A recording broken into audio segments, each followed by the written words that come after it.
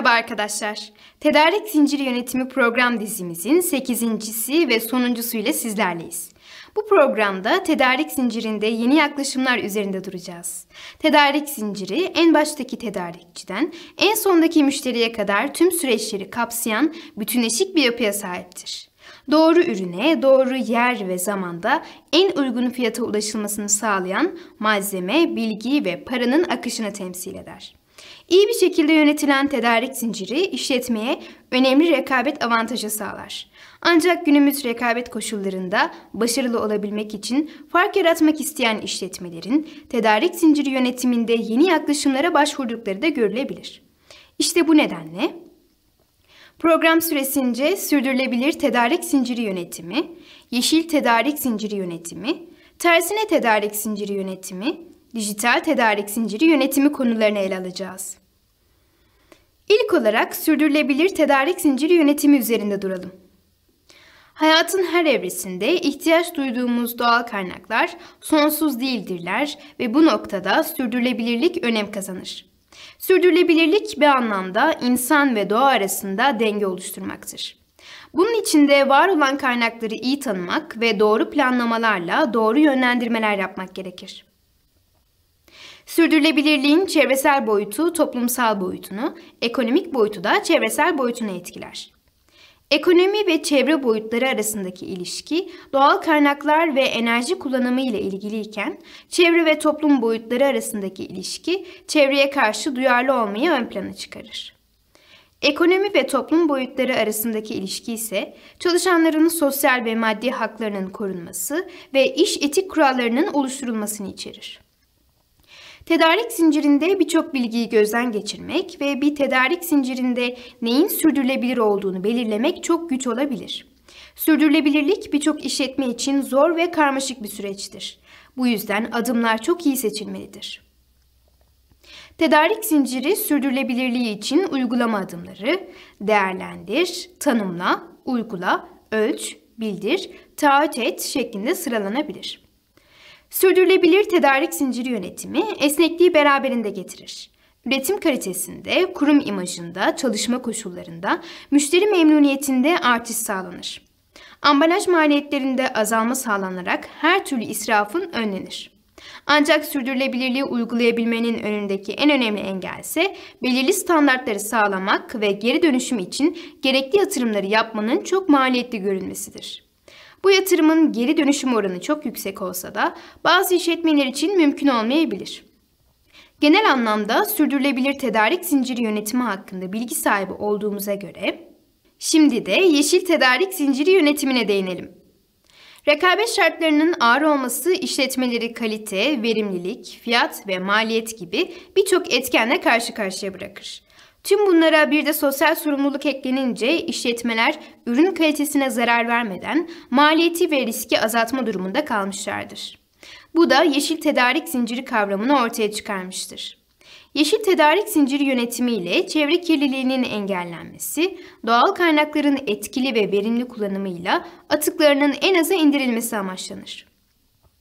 Yeşil tedarik zinciri yönetimi, tasarım gibi faaliyetlerden kaynaklanan her türlü çevresel zararları ortadan kaldırarak çevresel verimliliği artıran, işletmelerin karlılık ve satış hedeflerinin mümkün kılan bir yönetim anlayışıdır. Üretim miktarlarındaki artış ve bazı üretim yöntemleri çevre kirliliği sorununu ve kaynakların giderek tükenme tehlikesini ortaya çıkarmıştır. Üretim faaliyetleri sırasında havaya yayılan zehirli gazların ve doğal su kaynaklarını kirleten zehirli kimyasalların çevreye verdiği zararlar da giderek artmıştır. Bu durum toplumu çevreye karşı daha duyarlı hale getirmiştir. İşletmeler hem tüketicilerin gözünde daha iyi bir imaja sahip olabilmek hem konuyla ilgili yasalara uyum sağlayabilmek için yeşil üretim ve yeşil tedarik zincirini benimsemek durumunda kalmışlardır. Yeşil tedarik zinciri yönetimi uygulayan işletmeler, üretim için gerekli olan enerji ve kaynak tüketimini azaltarak sürdürülebilirliği sağlamaya çalışırlar. Yeşil tanımlamasıyla yeni ve farklı bir kimlik kazanan tedarik zinciri süreci, yeşil satın alma, yeşil üretim ve malzeme yönetimi, yeşil dağıtım, yeşil paketleme ve tersine lojistik gibi yeni faaliyetler içerir. Yeşil üretim hem tasarım hem de üretim süreçlerinde çevreye bırakılan etkiler izlenerek ürün yaşam döngüsünün her aşamasında çevrenin korunması sağlanmaya çalışılır.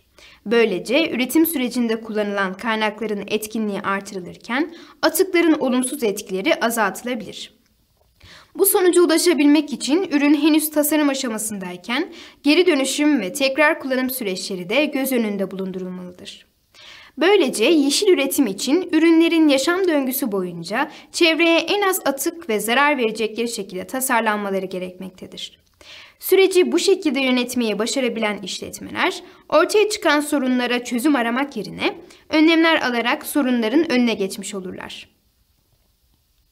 Bir tedarik zincirinin çevreye olumsuz etkilerinin azaltılması için birçok faaliyetin gerçekleşmesi gerekir. İşletmelerin kendi çevresel performanslarını geliştirebilmeleri için işletme içerisinde çevre yönetim sistemi oluşturmaları gereklidir. Yeşil tedarik zinciri bakış açısı zaman içerisinde yalın tedarik zinciri kavramının gelişmesine neden olmuştur. Yalın tedarik zinciri atıkları azaltmayı hedefler. Bunun için tüm değer zincirini bütün olarak değerlendirmek, israfları minimum noktasına çekerek tüm faaliyetlerin son kullanıcı için en iyi şekilde değer oluşturmasını sağlamak gerekir. İsraf son kullanıcıya herhangi bir fayda sağlamayan, dolayısıyla fazladan maliyeti kabul etmeyecekleri her şeydir. Yalın düşünceye göre ortaya çıkan israf sürekli azaltılarak kaynaklar daha etkin kullanılarak maliyetler düşerken daha kaliteli ve daha ucuz ürünler ortaya çıkar. Böylece müşteri memnuniyeti, işletmelerin karlılığı ve rekabet gücü de artar. Yalın tedarik zincirinin ortadan kaldırmaya çalıştığı israf kaynakları, fazla üretim, fazla bekleme zamanı, fazla taşıma işlemi, yanlış işleme, tüm gereksiz faaliyetler, arızalar, hatalar ve eksik ya da fazla stok bulundurma olarak özetlenebilir. Bu israf faktörleri ortadan kaldırılamadığında verimliliği ve kaliteyi düşürürken maliyetleri ve zaman kaybını artırır. Tedarik zinciri yöneticilerinin çevreye katkısı yeşil faaliyetlerin gerekliliklerine ne ölçüde uyum sağladıklarıyla açıklanabilir. İşletmenin kendi çevre stratejileri ve ekonomik duruşu işletme amaçlarına uygun bir şekilde belirlenmeli ve aynı yönde imaj belirleme çalışmalarıyla desteklenmelidir. Tedarik zincirinde yeni yaklaşımlardan biri de tersine tedarik zinciri yönetimidir. Tersine tedarik zinciri yönetimi, üretim faaliyetleriyle meydana gelen tüm atıklar, hurdalar ve kullanım süresi dolan tüketici atıklarının çevre açısından olumsuz etkilerini azaltabilmek için gerçekleştirilen faaliyetlerdir. İlk etapta geri dönüşüm faaliyetleriyle bir tutulan tersine tedarik zinciri yönetimi faaliyetleri, ürünlerin yapısına, zamanına ve yerine göre farklılık gösterir. Tersine tedarik zinciri faaliyetleri doğrudan yeniden kullanım, tamir, yenileme, geri dönüşüm, ürünün kısmi kullanımı, yakma ve gömme şeklinde sıralanabilir.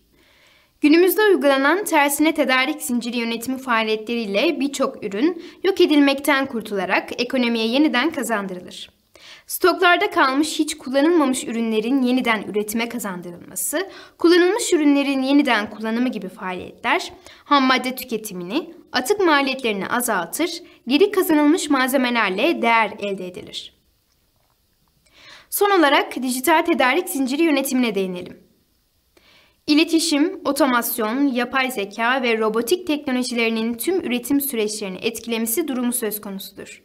Birçok alanı etkileyen Endüstri 4.0 tedarik zinciri süreçlerinde de etkilidir. Tedarik zinciri süreçlerinin gerçek zamanlı bir şekilde takip edilmesi ve en iyi şekilde yönetilmesi, robotik, büyük veri, nesnelerin interneti, bulut bilişim, artırılmış gerçeklik ve siber, fiziksel sistemlerle mümkündür. Ürün tasarımı, üretim, depo ve stokların yönetimi ve kontrolleri, taşıma ve birçok aşamada kullanılan bu teknolojiler, tedarik zinciri yönetiminde tüm süreçlerde şeffaflığı sağlar. Ayrıca maliyetlerin düşmesi, hata sayılarının azalması, gerçek zamanlı kontrollerin yapılabilmesi, esneklik ve müşteri memnuniyetinin artması gibi avantajları da beraberinde getirir. Özetlersek program süresince sürdürülebilir tedarik zinciri yönetimi, yeşil tedarik zinciri yönetimi, tersine tedarik zinciri yönetimi, dijital tedarik zinciri yönetimi konularını ele aldık. Böylece tedarik zinciri yönetimi program dizimizi tamamladık. Başka ders ve programlarda tekrar birlikte olmak dileğiyle. Esen kalın.